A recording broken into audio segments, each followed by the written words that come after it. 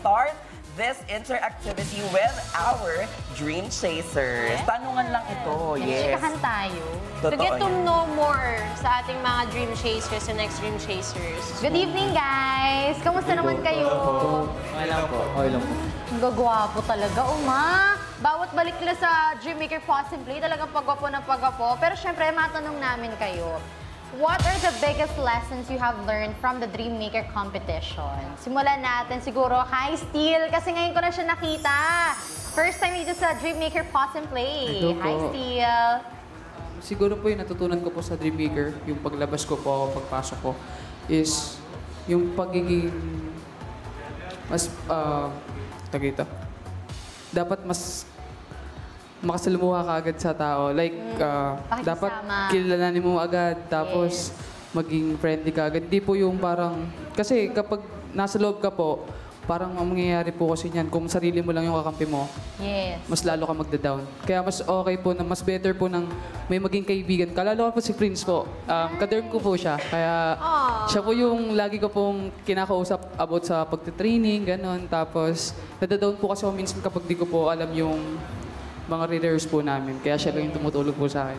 Oo, tsaka kasi sa mga ganyang kind of competition, isipin natin na hindi yung mga kasama natin yung kakompetensya natin, kundi yung sarili natin. Kasi everyday we have to be better. Kailangan everyday tayo nag-progress.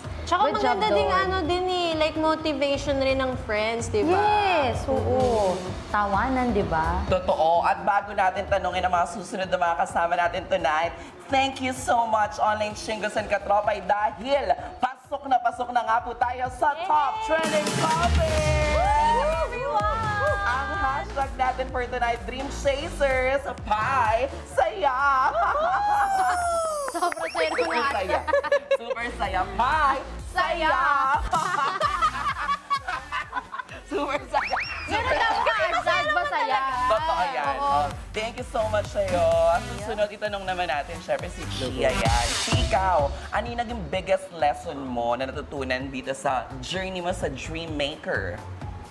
Ah, pinaka the best ko po na natutunan ko sa Dreammaker is I don't really need someone's validation to make myself feel that I am worth it.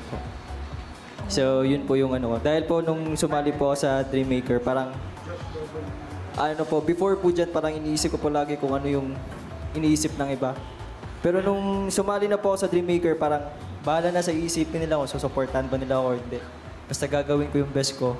And thankful po ako na kung yun po yung inisip, yun po yung inisip ko, tapos na-appreciate, dun po po ako na-appreciate ng mga tao. So yun.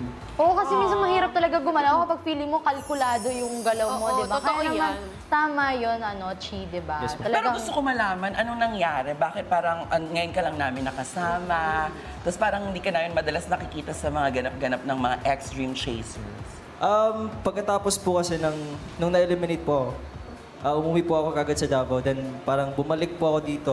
Then may mga projects po ako na ginawa before that. So nung naging free na po yung schedule ko, so natanggap ko na po. Yes po. Naging available. Ang bongga Yes po. ni Chi, oh. Sorry. Ay, May hindi, alam mo, holy book. ipagmamalaki ko lang, nakaka-proud. Kasi sabi niya, di ba, may mga projects na siyang ginagawa, Yes. ganyan. Yung iba pang mga kasamahan nila, like sina Kerwin, sina Matthew, alam ko, tomorrow ata, nasa ano sila, tay-tay, kasi mag-motorcade, motorcade sila, mga ganon. Oh.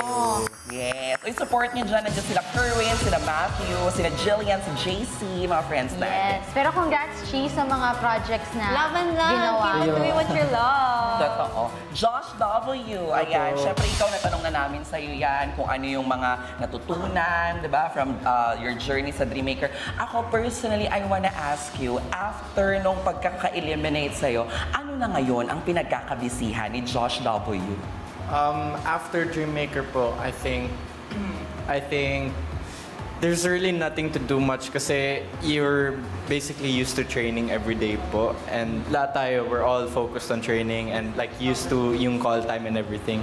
Pero ngayon po, I think I'm just like practicing at home po. Just doing, even, it's like in the mindset, I like sometimes I do like take my hand or lovey-dovey po at home for no reason. Wala lang, just Para lang nawa-warm up ka pa Opo. din. Di ba, you're from Davao din? Opo. Can, can lessons po, taking more dance lessons. Kasi as I said dati po, I really fell in love, I really fell in love performing po, dancing, rapping, singing po. So I really wanna pursue my performance po and make it come true. Kayang-kaya mo yan. And I'm excited kasi watching you now, kahit sa dressing room, yung pagdating mo, even without yung, syempre lahat naman tayo, pag umata sa camera, nagta-touch up tayo para mas ano tayo, pleasant tayong tingnan.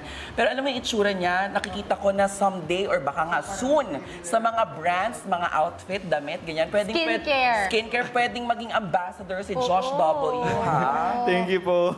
Yes. O basta alam mo na 10% ako doon. Ay, dyan, dyan. May cut. Ako yung nag May cut pala eh. May cut pala. Hindi, joke lang. Pero hindi, yun, minamanifest natin yan. Gusto ko tang makita sa EDSA billboard. Yes, claim natin yan. Claim natin yung mga yan. Totoo. Si Prince naman, ayan, syempre, Prince, welcome back. Thank you po. Yes. Uy, alam mo, ang tangkad niya na ngayon. Ay, yes! Kasi syempre, what are those? From who ulit? Yes. Galing po to kay Mama Jai.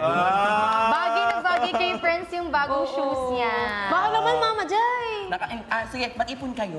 Kami pala. Pag sa mga babae, mag-ipon kayo. Pag sa mga Sinasabi si chasers, Josh. Ano daw? Kami pala. Hindi kasi Ano? hindi kasi 'di ba Josh, si- ano, kayo marami kayong mga shoes 'di ba?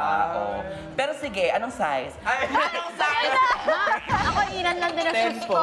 Then, size 10 ka. Okay, sige, sige. Ayan, oo. Ah, nagbilang ng pera. nagbilang, oo. Bagay kay Prince. Totoo. Thank you po. Ang cute ng batang ito kasi syempre, 'di ba? Ang daming mga nagsasabi sa social media na parang ah, ito don't get us wrong, wag niyo bigyan ng ibang meaning ah. Parang ang daming nagsasabi na hindi pa rin sila maka-move on kasi konting-konti na lang pasok na si Prince dapat sa horizon. Yes, 'Di ba? Konting-konti na lang talaga na parang hala late siya na mas lalong nakilala ng mga tao, sayang ah, nag nangihinayang sila na hindi siya nakapasok.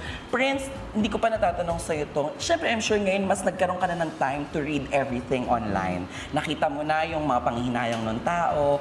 Kamusta? Kamusta yung pag nababasa mo and yung mga sinasabi sa ng mga tao sa paligid? For me po, syempre, nanghinayang din po ako kasi gusto ko po talaga talaga makasama sa final top 7. And alam ko po na ginawa ko na, pinakita ko na po sa kanila yung best ko. And yun nga po, may huli na po napansin ng mga tao.